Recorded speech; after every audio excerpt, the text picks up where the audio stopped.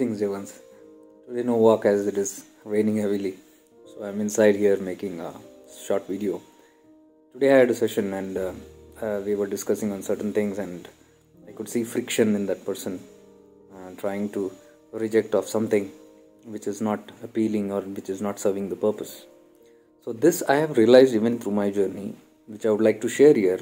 Perhaps it would be of uh, help to you. The method of inclusion than exclusion.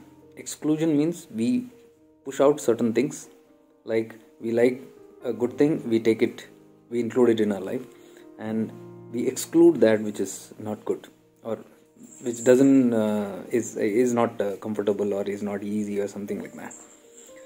So that pushing away is exclusion, and what we include in our life is inclusion. What I'm talking is about a total inclusion, no exclusion at all this is where on this platform of shifting into awareness i'm where i'm uh, stressing so much on inner shadow work. Hmm. Inner shadow work is something of my own darkness the shadows that i have you know. Acknowledging it. When i say acknowledge your darkness it doesn't mean brood over darkness or contemplate on the darkness. It means don't resist it. Don't exclude it. Don't kick it out. Don't have a different attitude. I will not look at it because I want only the good things of mine to be seen. No, then that will remain. That won't go away. And that will remain because you have excluded it. If you include it in your part of life, it is a part of you. And you, whenever you are in awareness, you are aware of its presence. This, even you won't allow it to come into your awareness because you have made a shed and put it in that, in a dungeon, you have shut it down there every time you are spreading your awareness, you are only spreading on the good you. Good you we know. The good me I know. The, what is good about me is no. What's the big deal in you know brooding over the goodness? Goodness will always take me ahead in life. But the opposite of goodness, whatever is murky or dirty, that will not allow me to go ahead. So that is what needs attention, not the goodness, if you see, technically speaking.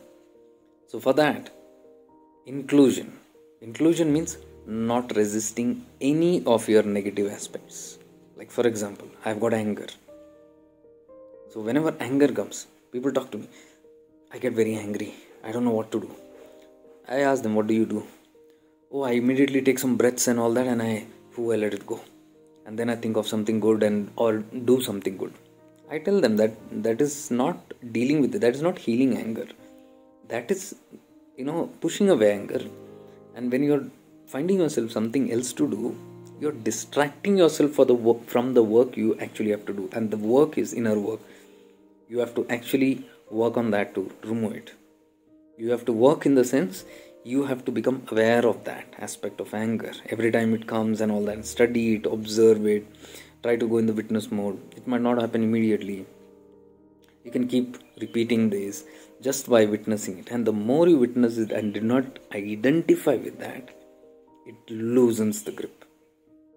All these negative aspects within us. So that's one beautiful and very powerful way very powerful i'm telling you way and very quick way of releasing these negative aspects within us. And it can be done very spontaneously. It doesn't need a particular time and space. In your living waking hours if you are working with awareness these things you will be able to sort it out very easily. So here we are not resisting anything. So if there is a uh, conflict inside or if there is no peace inside that that irritation or that restlessness you know for example restlessness. Whenever restlessness happens we try to push the restlessness away or try we try to look on at peace as though we are gasping for air. That is actually running away or distracting yourself and excluding it. So, whatever, remember this, whatever you push away from you, it will come back with the same, it's like a rubber band because that's your prarabdha karma. Prarabdha karma cannot be pushed away. You have to understand this. What is your destiny? What is your karma that you're mm, undergoing? It will apply to you. So, you have to now go through it. You can by pushing it you cannot divert or um, escape your karma. Everybody knows that. So what is the best way? Best way is inclusion.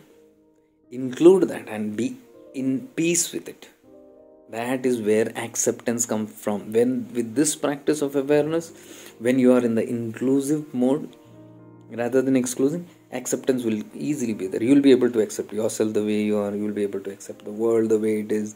You will be accept, eh, easily able to accept all the paths all the religions all communities all countries all origins all languages all races without any problem.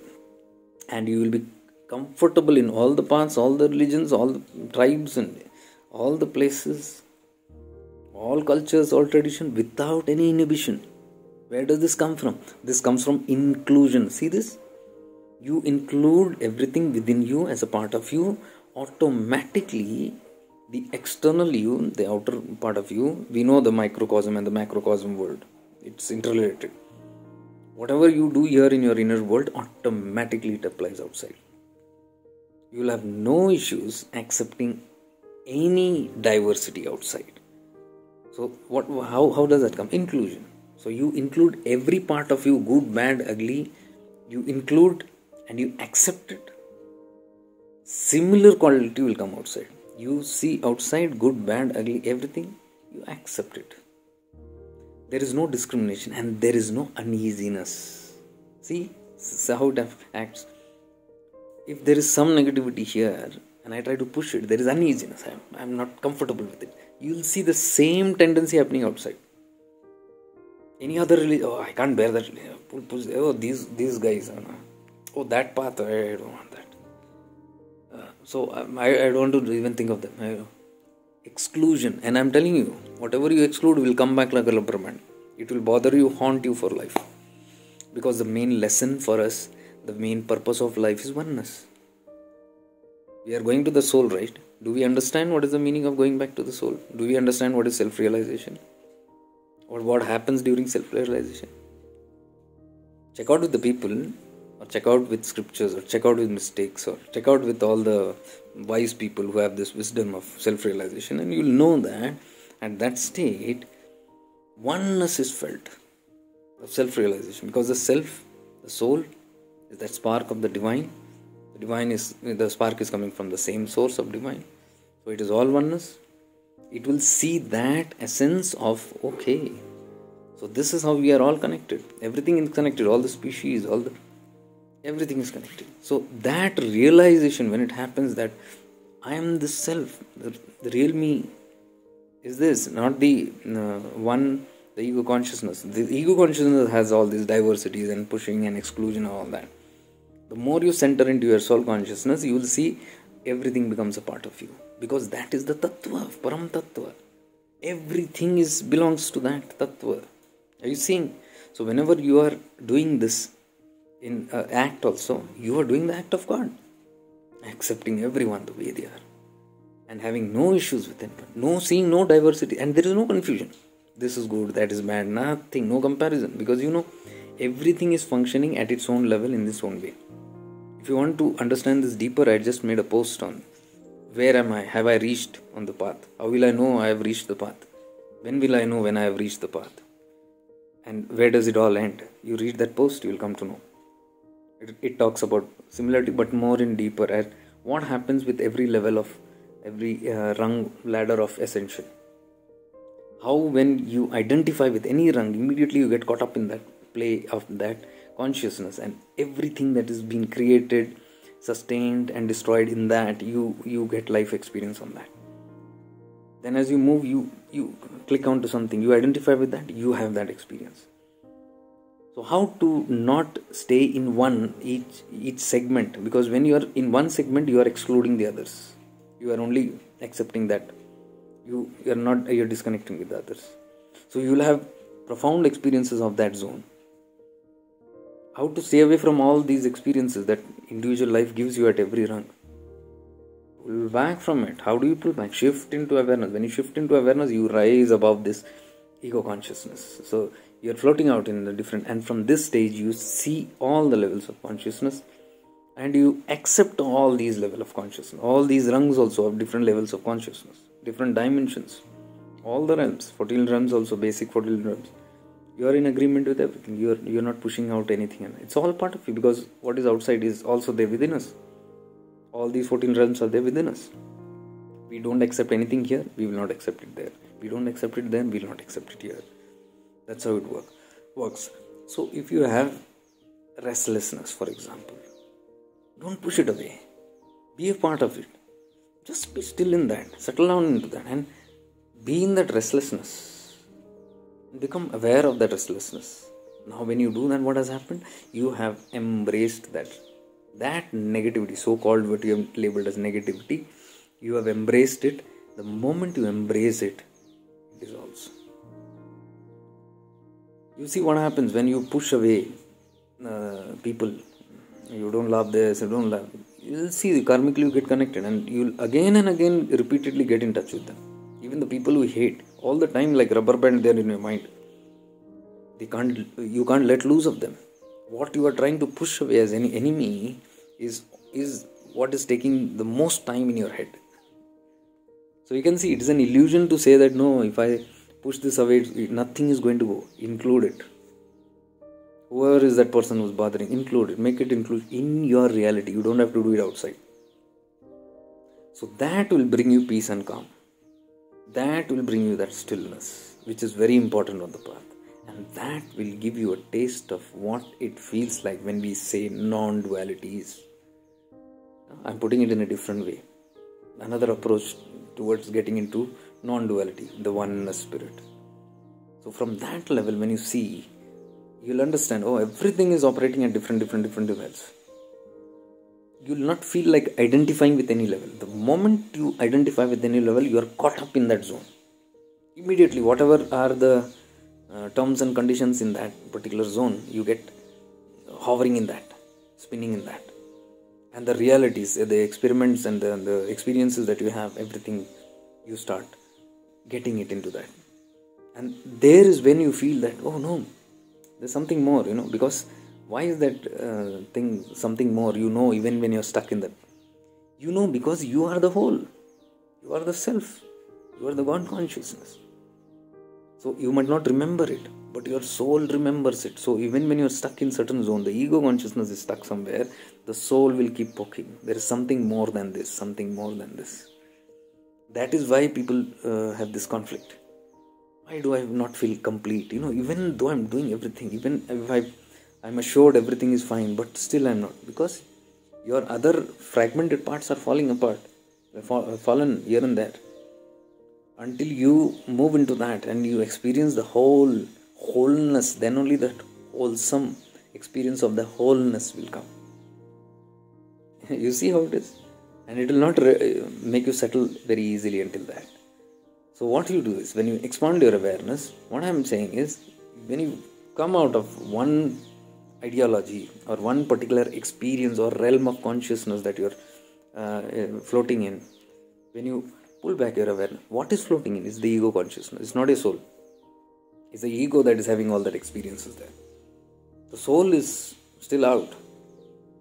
That tattva, that jiva, that atman is seeing and experiencing things, but it's not reaching your ego consciousness because it's clouded with a lot of uh, the body identification and things of the gross consciousness. So it's not identifying with that. But a little part is giving you a hint. So this practice of awareness, whenever you practice awareness, you are actually moving into that soul zone. when you are moving into that soul zone, you can see yourself also, your gross self also, trembling there, and you know, then you can see, oh, why are you stuck there? It's very simple. Why? That's not real. Because look here, there's another experience. Look there, there's another. That looks different. This looks different. It's infinite. So when you pull back, you know you are neither that, but you are thinking you are that. You, know, you, you are not that experience. And who are you? That is where it comes to who am I? Oh, this is the real I that is experiencing everything. That it's not that. So what is real? Neither this is real, neither that is real, because everything is temporary. One moment I'm in this zone, one moment I'm in that zone, and everything feels so real. Whichever zone I'm in, sounds very, very real. That is Maya. When you get identified with a particular zone, that is called illusion, which is not real. So, even to see through Maya, You have to pull back. When you pull back, you see that play of consciousness which is happening at different levels. This might not be a very permanent experience, it might be a little experience, but you can keep on expanding as and when possible. So you will have that uh, realization of oh, how false everything is. Then you will not feel like you know being in one but any zone because you know it's temporary. The moment you shift in your awareness, you are moved into another zone. If you are identified in that zone, you get caught up in that. Then again you move. So every level you feel I am great, I am evolving, I am superior, I know so much than others. You know, all these feelings will come, but don't identify with it because that's the fall feeling again. Because the journey is never ending, it goes on and on and on till when? Till there is this feeling of I-ness there, you know, at every experience what we have, the gross consciousness is there. Till there is an identifier that gets identified. Till there is this traveler who's traveling this path till there is an identity. Oh, I am traveling the path. That is still there. Journey is still far. Hmm. So when the destination is reached, even the travel traveler dissolves, the journey dissolves, the path dissolves, the road dissolves, everything dissolves, and there is no one to even claim I have reached. No one to even proclaim or even celebrate. Oh, I have reached. That awareness of that identification itself drops everything where am i talking this from? You will not find this in any book because i'm not referring any book. This is what i personally feel and experience and this is when i reflect on the life of mystics of dutas. They are in that state.